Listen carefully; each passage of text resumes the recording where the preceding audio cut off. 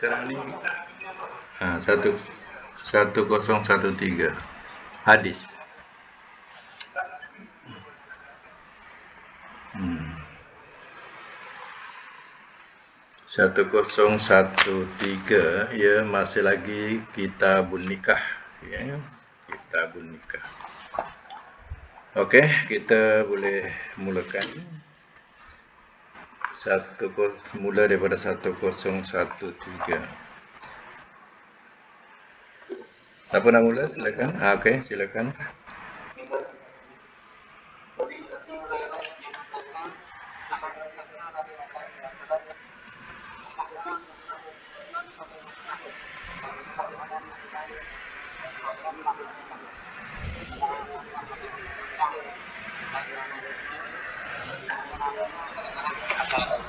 Ya. Baik catatkan uh, hadis 1013 hadis mauquf. Mauquf.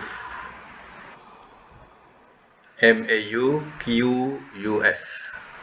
Mauquf. Kalau Arabnya mim wa qaf wa qaf wa fa. Ya. Mauquf. Eh, saya ulang balik. Hadis mauquf matan melarang perempuan. Mengahwinkan perempuan. Dan mengahwinkan diri sendiri.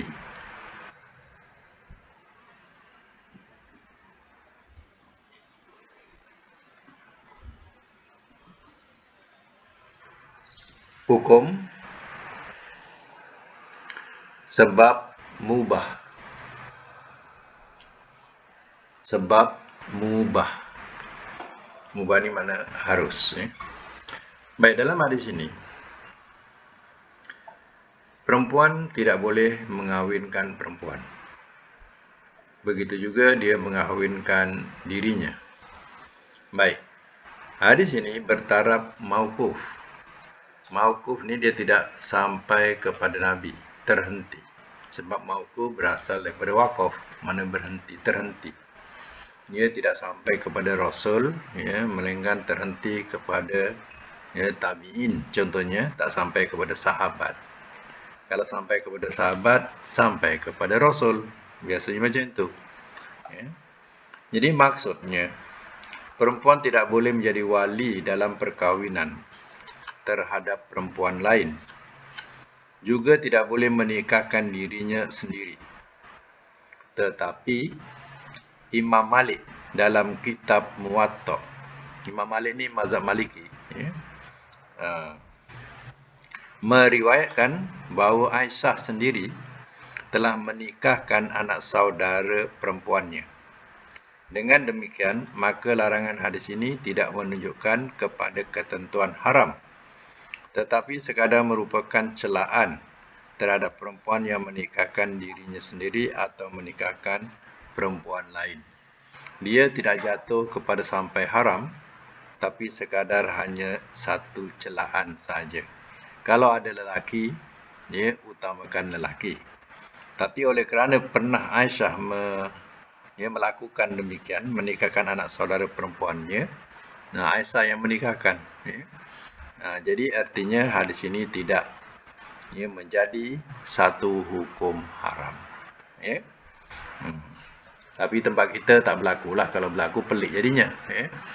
Ha, jadi ya, adanya adanya lelaki, lelaki lah yang diutamakan. Baik, 1014 silakan. Terus. Hmm. Dari Nafi. Ya. Ha. Okey.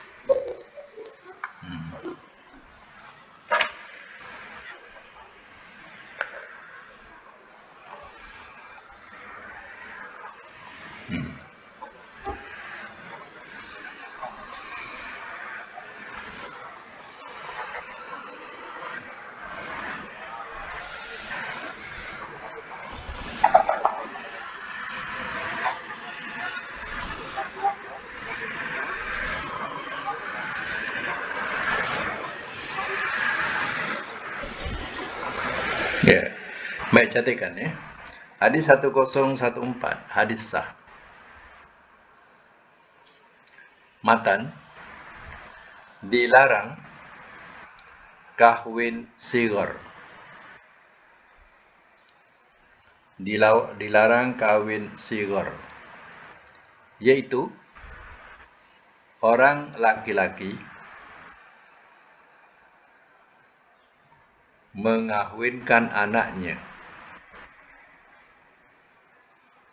kepada lelaki lain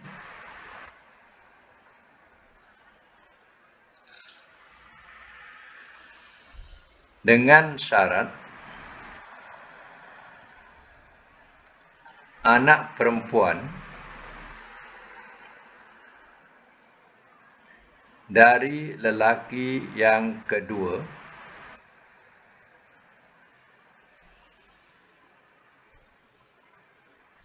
dikahwini pula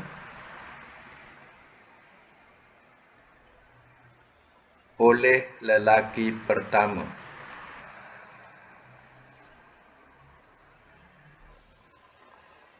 Tidak memakai mahar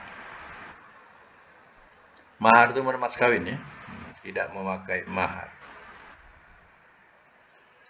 hukum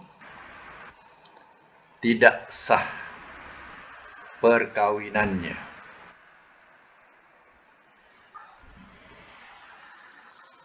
Baik ya, saya mak semula.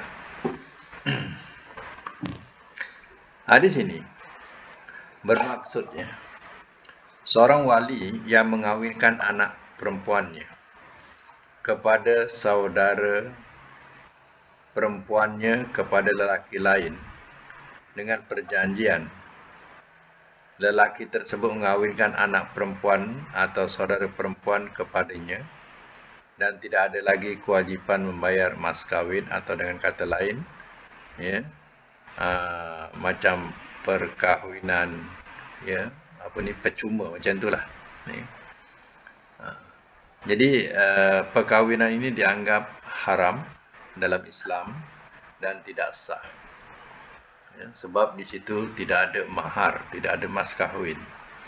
Artinya, ya, uh, faham ya, mana si A punya anak anak perempuan dikawinkan kepada lelaki, ya, seorang lelaki. Ya. Uh, kemudian, ya, uh, anak lelaki itu, ya, uh, berkahwin atau saudara daripada anak uh, daripada lelaki tadi, ya, Uh, berkahwin dengan ya, wali tadi. Ya. Jadi macam tukar menukar, bertukar. Ha, macam itulah. Ya. Jadi cara ini sebenarnya tidak tidak disebut sigar dalam istilah fiqh. Ya, disebut sebagai sigar. Jadi hal ini tidak ya ber, tidak boleh dilakukan. Mana dalam segi hukum tetap haram. Ya. Hari ini hadis 1015 ya, uh, yang baru masuk ya. Uh, 1015. Hmm, hadis ya. Okey, siapa nak baca 1015 pula? Ya. Sila. Hmm.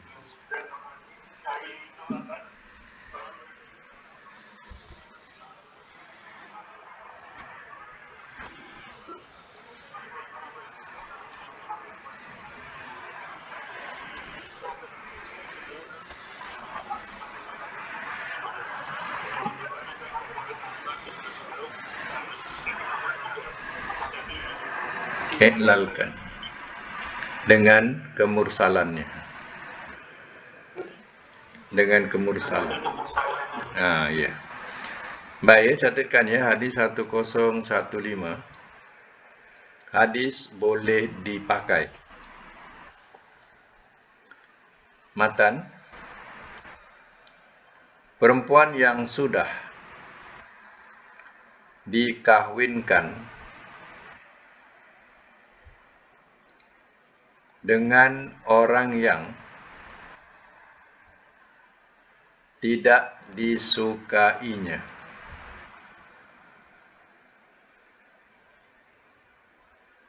Boleh memilih untuk diteruskan atau membatalkan perkahwinan itu.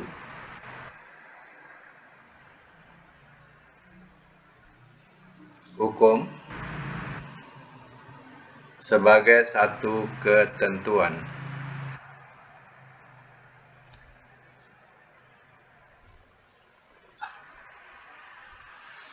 Baik. Maksud daripada ya hadis ini ini dikira sebagai perkahwinan paksaan. Ya, yang anak ia hanya dipaksa sedangkan dia tidak menyukainya ya, atau tidak suka ya, dan tidak ada rasa cinta kepadanya. Jadi maksudnya begitulah. Jadi seorang anak perempuan yang tidak mempersetujui perkahwinannya dengan seorang lelaki yang telah diterima oleh bapanya. Bapanya menerima lelaki itu tapi anaknya tidak suka. Maka perempuan tersebut dapat membatalkan perkahwinannya walaupun ya, hadis ini dianggap mursal tapi menurut riwayat lain di antaranya dalam Sahih Muslim disebutkan kes tersebut. Dengan demikian hadis ini dapat dipakai sebagai dasar hukum. Ya, uh, seandainya ya uh, mana uh, apa uh, perempuan anak perempuan ini dia boleh memilih. Sama ada ya uh, nak meneruskan ataupun nak membatalkan. Ya tetapi kalau seandainya dia sudah dikahwinkan ya dengan cara paksa dah dikahwinkan ya seandainya si anak perempuan ini memang tidak suka ya maka ya dia juga diberi dia boleh diberi pilihan. Ya oleh hakim ya untuk meneruskan atau untuk membatalkan. Ya seandainya ya dia mahu membatalkan artinya ada jalan. Sebab perkahwinan itu dirasakan sebagai satu paksaan dia tidak menyukai. Ya nah ya hanya kadang ya di antaranya hanya menurut supaya ya menyenangkan hati orang tuanya dia pun turuti tapi hakikatnya dia tidak ada perasaan sayang ya kepada ya uh, bakal suaminya atau suaminya. Jadi hal ini ya memang bermasalah. Ya. Sebab itu boleh dia cari jalan ya untuk berpisah ataupun untuk meneruskan. Mana uh, hal ini sebenarnya boleh ya. Uh, diperbolehkan dalam Islam ya. Uh, sebab ha? cerai cerai ha, cerai mana sama ada jalan nak me, nak meneruskan atau tidak kalau tidak tu mana cerai lah ha, ya? ha, dibagi ha, ini sekarang bukan kepada suami sekarang pengadilan mana kepada pihak ha, pihak, pihak hakim. Mana pengadu ini ialah perempuan tu mengadu kepada pihak hakim ya? atau kita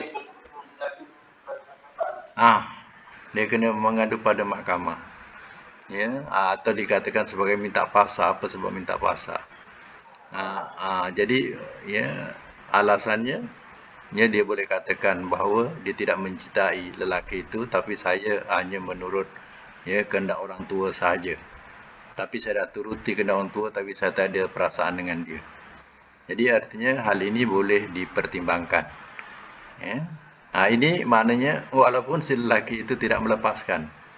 Ya, hakim juga boleh bertindak untuk melepaskan. Ya. Ha, itu bergantung pada hakim lah. Tapi tengok kadang hal-hal macam ni ya Allah. Ya. Susah betul. Ya. Ha, maknanya ya, kadang turun naik, turun naik. Pejabat tak putus-putus juga. Tak habis-habis juga. Ya. Jadi sebenarnya dalam Islam ni mudah ya, yang mudah dimudahkan saja. Ya. Hmm.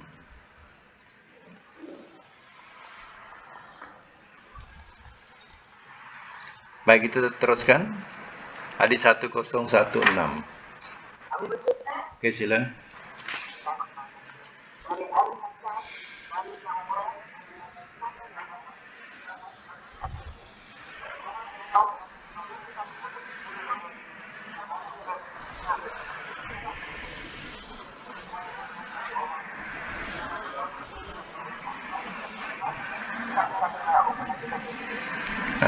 ini kes yang dibaca ni adalah kes berkaitan dengan dua wali.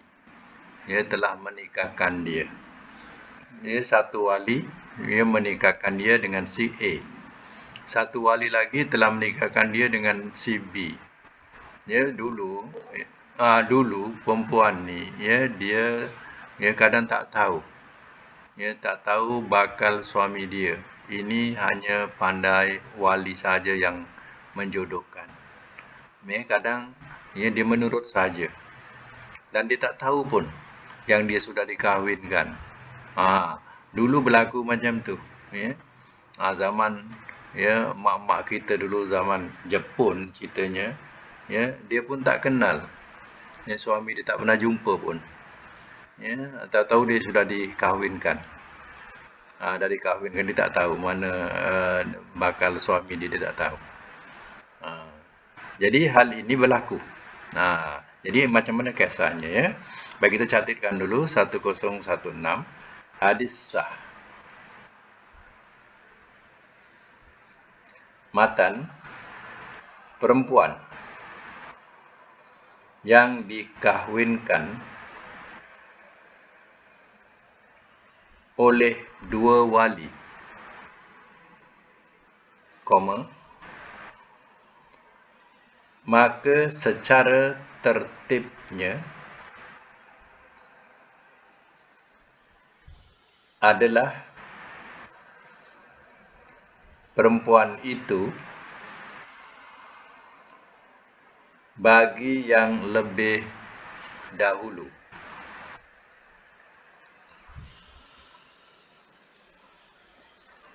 hukum sebagai satu ketentuan.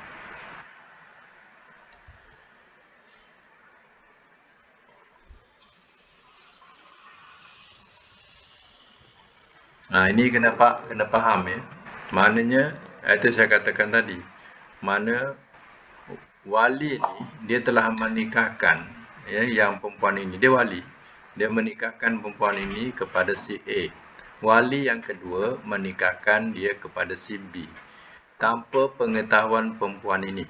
Perempuan ini pun tak tahu yang dia sudah dinikahkan. Bila bertembung macam tu, pertembungan macam tu, maka dikira dalam hukum ya wali yang pertama yang menikahkan itu lebih diutamakan dalam hukum. Yang kedua batal. Ha, jadi wali yang dahulu yang telah mengkahwinkan dia, ha, itu maknanya itu yang diterima dalam hukum. Ha, yang ha? Dua wali mana dalam uh, apa adik-beradik dalam uh, sedara, dalam mak bapa dia ada pak sedara. Kan? Ha, contohnya pak sedara ni, saudara A dengan pak sedara B, wali. Dia menikahkan anak buah dia. Faham tak? Ha, dia menikahkan anak buah dua. Ha, anak buah dia dengan si pulan A. Ya, anak pas. Ha, boleh? Mana boleh? Mana atas persetujuan lah. Mana boleh? Ni. Ha, maknanya, eh, wali ni, eh, tak semestinya bapa dia. Ataupun bapanya dah tak ada. Contohnya. Nah, bapa dia tak ada lagi senanglah kisah dia kan. Bapa dia tak ada. Ha, jadi ada dua wali. Dua atau tiga wali lah memang adik-beradik dia ada ya. Ha, maknanya ha, jadi dikira dalam segi hukum siapa dulu. Ha, yang nak tahu dulu kemudian tengok tarikh. Ha, bila dia kahwinkan. Ha, macam tu. Memang kacau bilau lah tapi memang kacau bilau tetapi balik kepada hukum balik kepada hukum diterima hanya yang pertama ha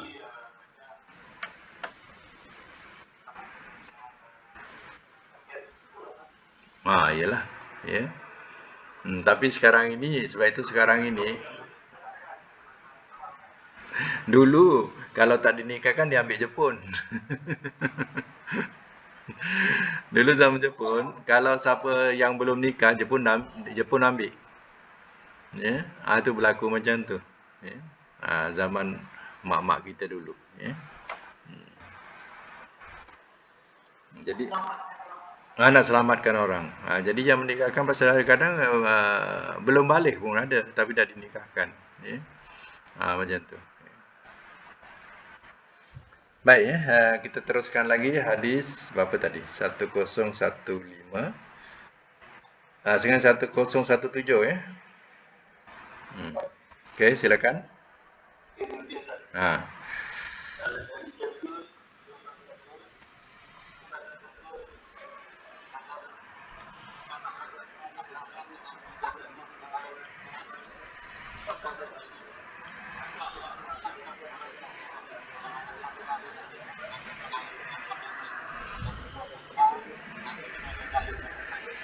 Satu kosong satu tujuh hadis boleh dipakai. Matan Hamba yang kahwin Tanpa izin Dari tuannya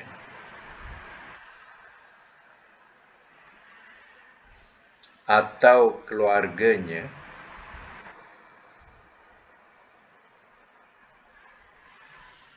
Maka perkahwinannya tidak sah.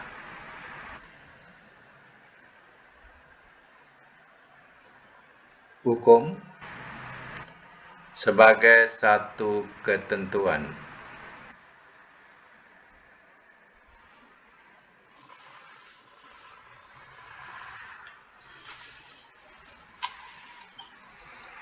Jadi ini kisah hamba yang mana hamba. Hamba ni adalah milik tuan ya uh, seandainya tuan itu tidak mengizinkan untuk dia berkahwin kepada orang lain ya dia tidak boleh berkahwin. Ya uh, itu sebenarnya ya uh, seandainya dia bertemu jodoh dengan hamba yang lain ya uh, tuan dia tidak mengizinkan. Ya maka dihukumkan tidak sah ya perkahwinan itu ha, ini hamba eh Hmm. Berbeza dengan eh, orang merdeka. Macam tadi orang merdeka lah walinya dia kahwinkan ya, tanpa pengetahuan ya, uh, anak buah dia. Ya. Tapi seandainya macam cerita tadi lah, seandainya berlaku, ya, dia tidak suka dipaksa juga, uh, dia bu bolehlah buat laporan kepada pihak yang berwajib. Ya untuk minta pasrah. Ya. Ha, ceritanya lah. Ya. Okey. Ha. Hmm.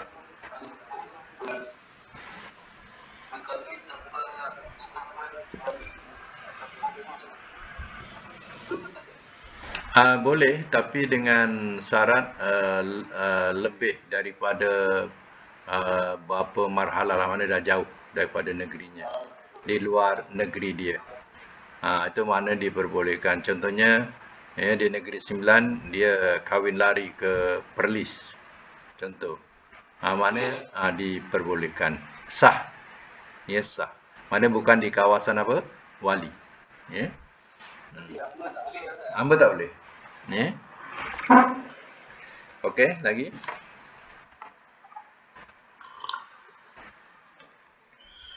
Hadis 1018 Hmm.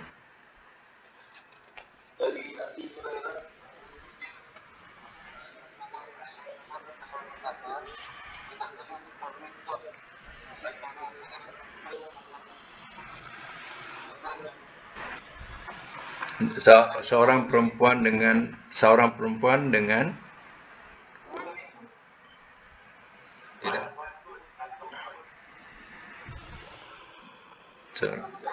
Nanti nanti. Tidak boleh dimandukan seorang perempuan dengan saudara perempuan. Uh, dengan uh, di antara saudara perempuan ya uh, saudara perempuan bapanya. Amatiha tu Ya. Ha. Ha.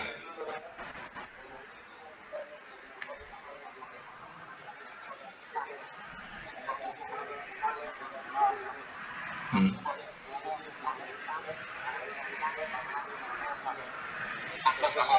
Hmm. Ya. Yeah. Baik, cantikkan dulu. Catatkan dulu. Hadis sah.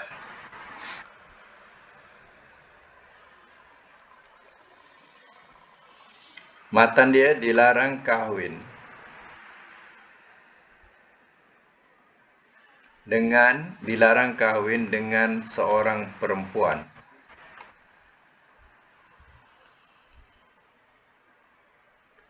bersama mak saudaranya.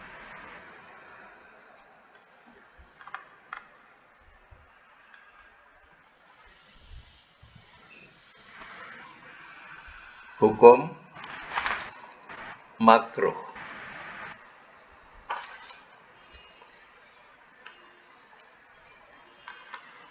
Baik nanti ya, saya terangkan.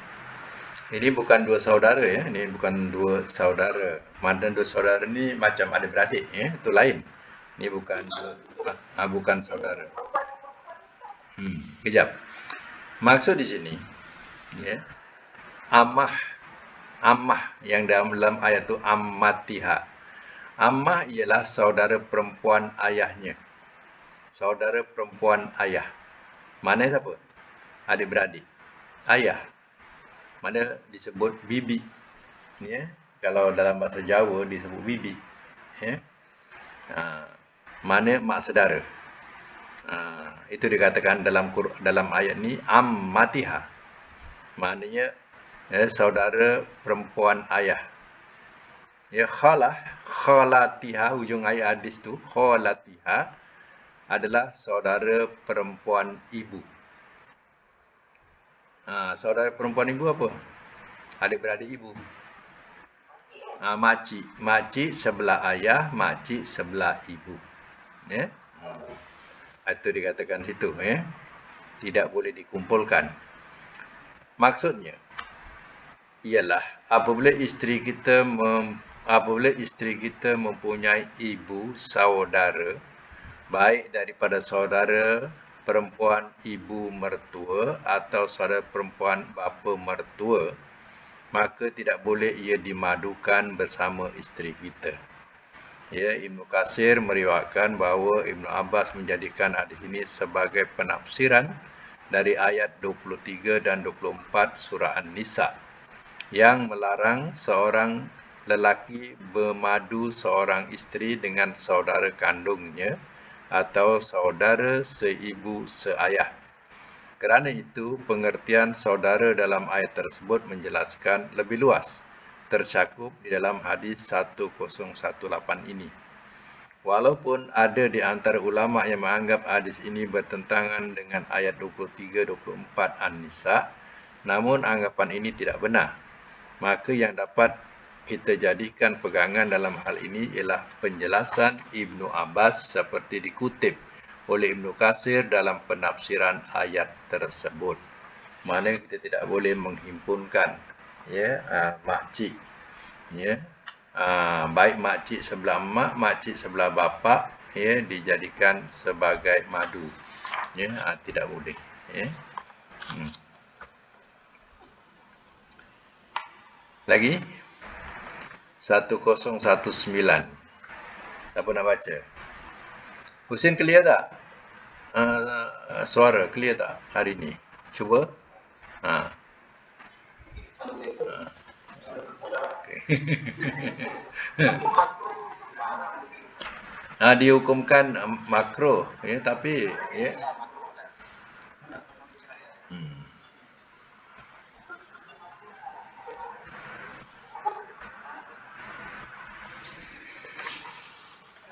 tapi kita kita tukar tukarlah tukar kepada kepada haram lah ya kepada haram haram. Ya. Ha, makro ha, makro ni maknanya boleh buat ya. Jadi uh, memadu seorang perempuan dengan ibu saudara baik ibu saudara perempuan atau ia berasal daripada saudara perempuan ayah mertua adalah haram. Jadi letak haram lah. Hmm. Sebab itu kita berpandukan kepada tafsir Ibn Qasir yang diambil daripada Ibn Abbas. Jadi eloklah haram. Ya. Nah, sebab larangan itu pun Ibn Qasir telah meletakkan ya hadis me, tafsiran daripada Ibn, apa, Ibn Abbas. Ya. Nah, artinya lebih sahih pegangan itu. Sebab Ibn Abbas kan salah seorang yang ia dipercayai oleh Rasul. Ya. Sampai Rasul kata kalau engkau tak faham, ya. Ha, tanyalah Ibnu Abbas. Ha, Nabi kata macam tu. Kalau tak faham tafsiran Quran tanyalah Ibnu Abbas. Hmm. jadi Ibnu Abbas ni orang kepercayaan ya. Lagi? Ayat 1019 ha.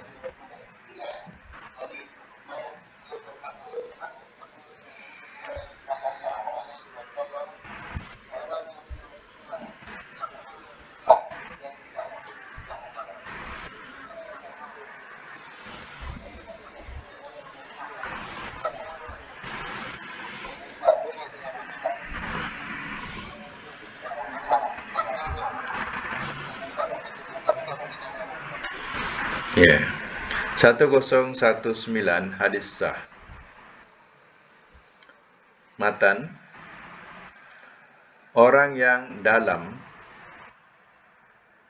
ibadat haji. Orang yang dalam ibadat haji dilarang kahwin mengahwinkan koma meminang dan dipinangkan. Hukum tidak sah.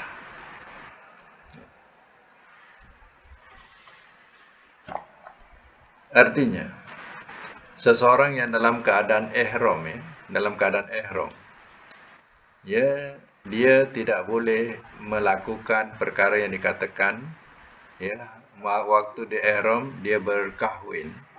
Ataupun dia ya uh, mengkahwin atau mengahwinkan. Mana mengahwinkan ni maknanya uh, wali ya mengahwinkan. Kemudian disambung atau penambahan tidak boleh minang atau dipinang untuk atau dipinangkan Ha, mana kedua-dua ini tidak sah kalau ia lakukan. Ha, itu uh, larangan ya. Ha, tidak diperbolehkan dalam melakukan ibadat haji. Jadi ya hukum ini ya, dianggap sebagai hukum yang ya haram ya. Tidak sah. Lagi hadis satu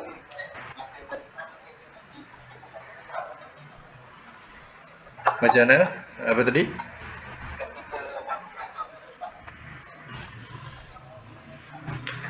Ah, dia pakai waktu pakai ihram. Ah, pakai ihram tu. Ya. Dan ah, lepas tu tak mengapa. Ah, waktu dia pakai ihram. Ya. Ah, kalau dia dah, dah habis, ya, atau lain. Ya.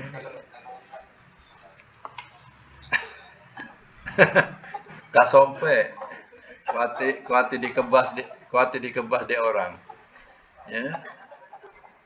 Jumpa jodoh kat ha, jumpa jodoh kat situ pula. Ha kenal kat situ ya. Ha.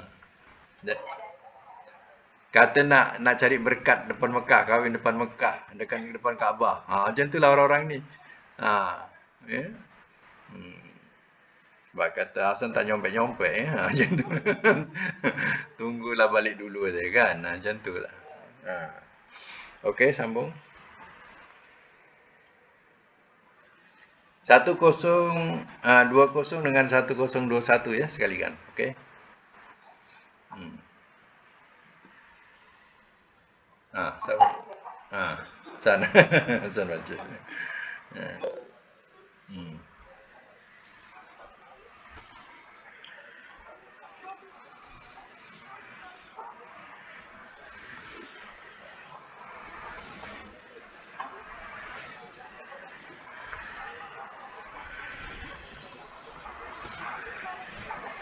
Okey, catatkan dulu satu hukum ya, 1020 dengan 1021 ya. Satu hukum hadis sah.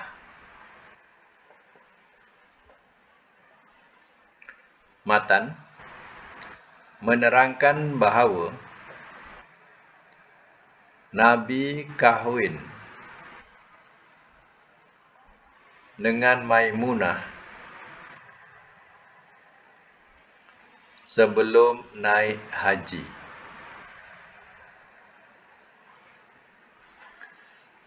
Hukum mubah.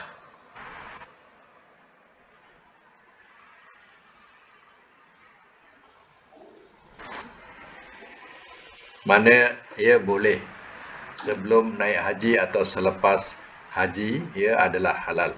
Ya. Ah, itu yang itu hakikatnya yang sebenar tafsiran dia ya lagi 1022 hmm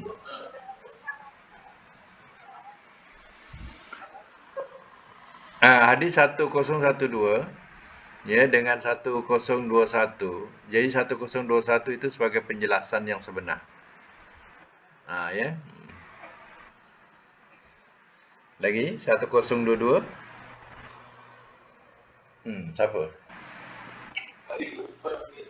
Hmm.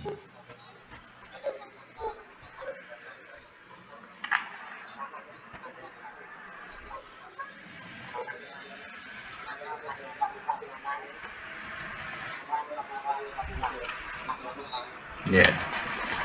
1022 hadis sah.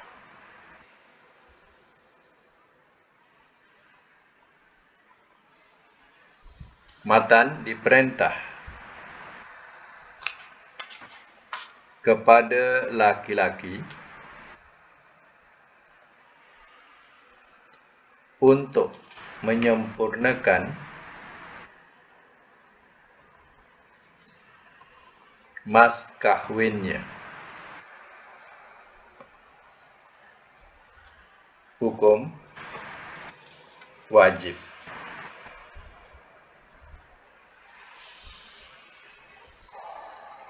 Itulah syarat ya yang wajib bagi seorang lelaki ya menyempurnakan mas kahwinnya. Jadi dulu ya mas kahwin ini ya uh, tak mahal ya. Uh, kita mengikut cerita daripada ya orang-orang tua ya dia berkahwin dengan mas kahwin ketika itu hanya ya dua ringgit. Ya. Nah, mas kahwin dua ringgit. Kemudian naik dua ringgit setengah. Nah itu mas kahwin dulu lah tapi mungkin ya masa tu dua ringgit pun dah besar nilai dia ya. Jadi ya dan kebanyakan ya uh, mereka berkahwin dengan mas kahwin hutang.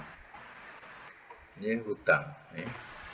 Nah, dan saya pernah dengar, ya, dengar sendiri, ya, daripada seorang eh, yang dah tua, dia kata dengan isteri dia, ya kalau aku mati dulu halalkan ya mas kahwin. Ah, hutang lagi. Rupanya hutang lagi, tak bayar lagi. Ya. Nah, eh. apa masalah apa rahsia ya yang dia ya bukan mahal masa itu RM2 ya. ya. Nah, bukan mahal pun ya. Tapi masih hutang lagi, dah tua dah. Tapi belum bayar lagi mas kahwin. Ya. Dan dia mengatakan kalau aku mati dulu tolong halalkan mas kahwinnya mah macam itulah bahasa dia. Ya. Jadi barulah apa rahsia dia katanya ya. Nah, bukan kata dia kata kata orang-orang lain yang lain pula. Dia kata ha, itulah pemanjang jodoh kata dia. Sebab itu dia tak nak bayar. Ya ha, dia tak nak tak nak bayar awal ya untuk memanjangkan jodoh kata dia. Sebenarnya salah ya. Anggapan macam tu salah. Kita tidak boleh pakai. Ya kalau itu sebagai anggapan sebagai memanjangkan jodoh itu salah. Hutang dia tetap hutang Ya, kena bayar sampai bila pun dia kena bayar. Ya. Hmm. Istihalalkan tak apa. Ya. Ha, itu mana dia sendiri yang menghalalkan. Ya. Ha, itu boleh. Tapi kalau isteri tidak menghalalkan dan tak sempat menghalalkan, dia tetap masih berhutang. Eh. Ha, ini eh dia punya hukum. Lagi uh, 1023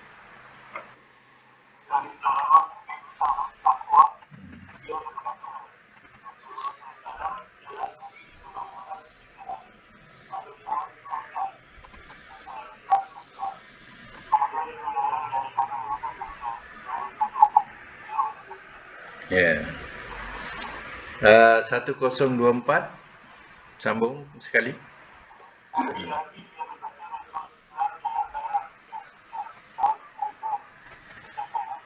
Satu kosong dua lima.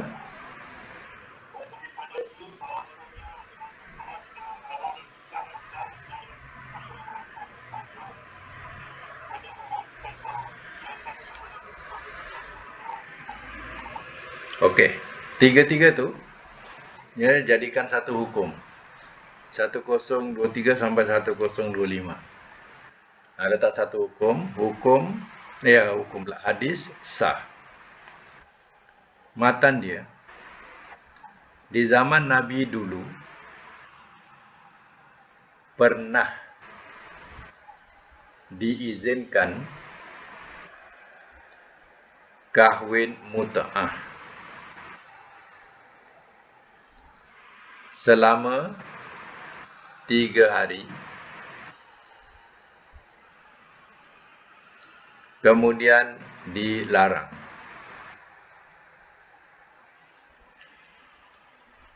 Hukum sebagai satu ketentuan.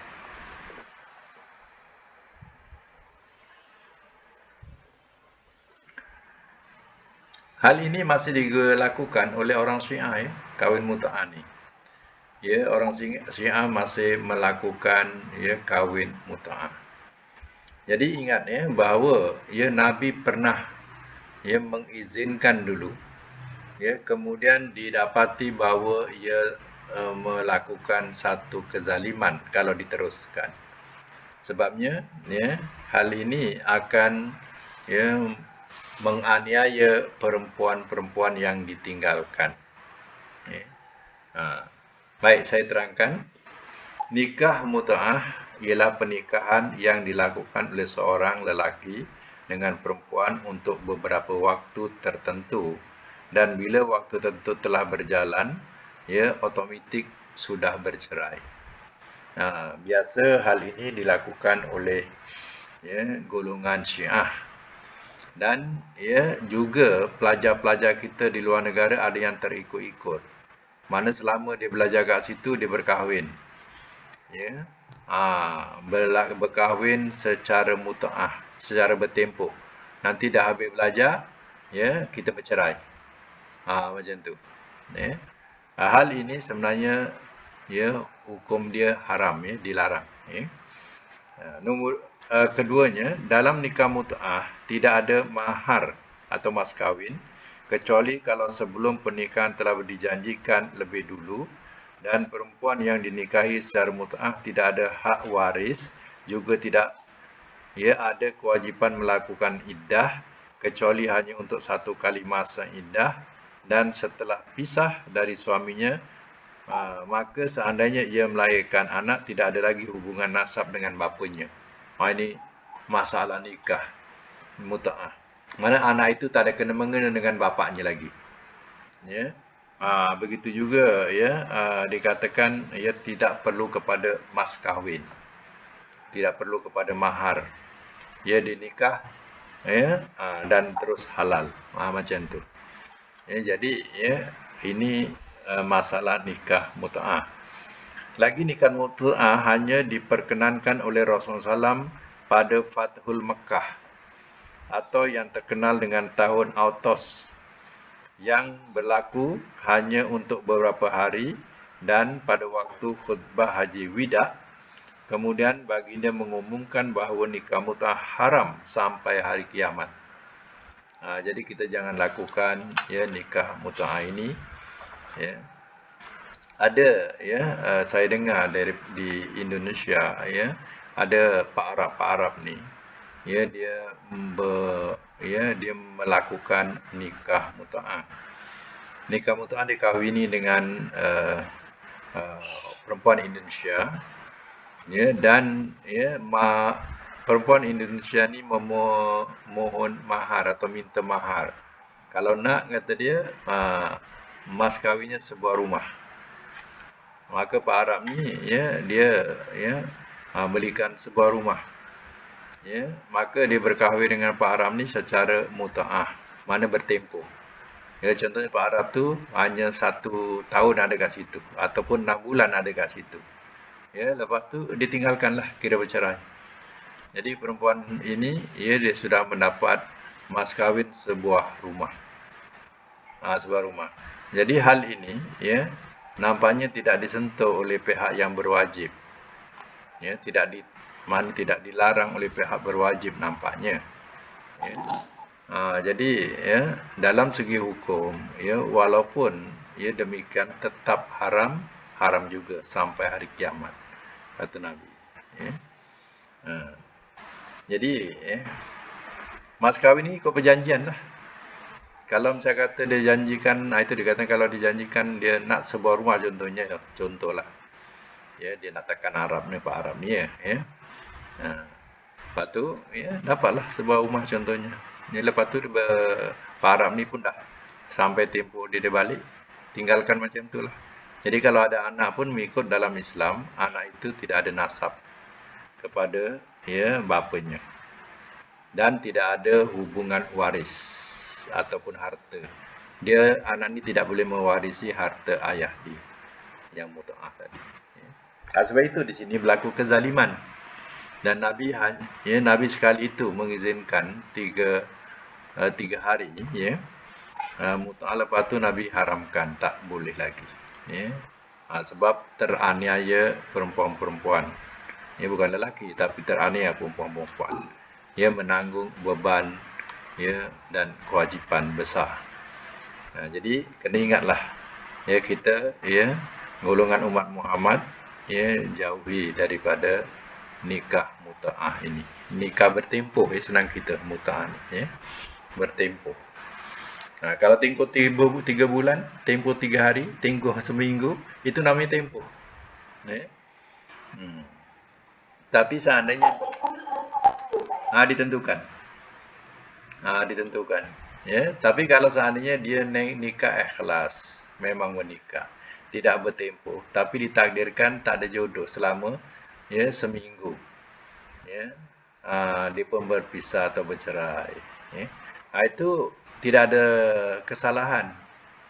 Ha, itu memang secara uh, uh, sukarela, maknanya uh, dia kena ya uh, menjalani ya uh, kewajipan kalau idah kena menjalani idah lah seandainya uh, apa cerai biasa bukan secara cerai mutaah cerai mutaah ni cara perjanjian ya hmm. atau cerita dia ya lagi siapa nak baca lagi? 1026.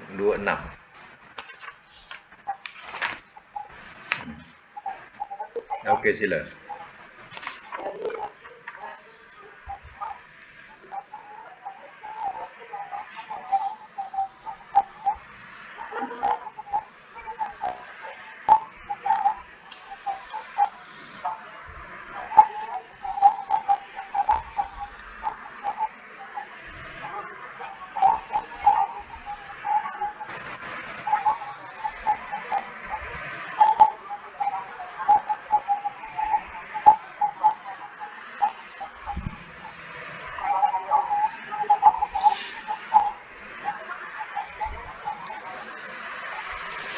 Satu kosong dua enam hadis sah. Matan pemberian yang sudah diserahkan kepada istri-istri dengan muta'ah. Tidak boleh si suami minta kembali di waktu menceraikannya.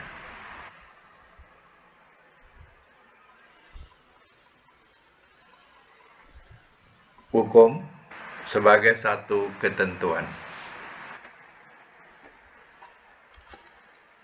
Kalau ya dia dah bagi rumah, bagi kenderaan dan lain-lain, ya. Uh, maka ya si suami ini tidak boleh mengambil balik apa yang diberikan kepadanya. Itu ialah mutaah. Ya. Uh, tapi jangan dibuat, maknanya dah diharamkan.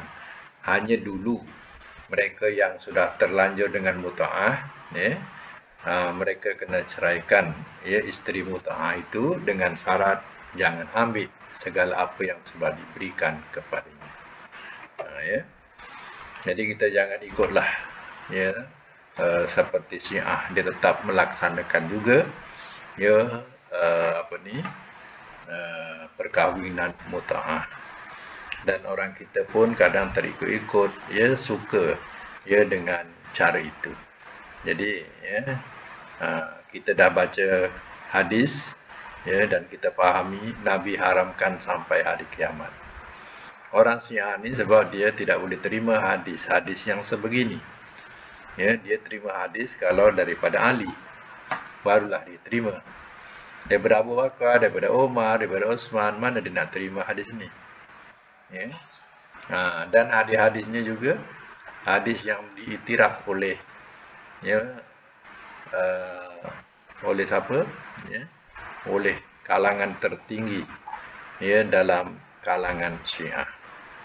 Ha, ya. Kalau ya mereka bergelar sebagai ayatullah itu kalangan tertinggi.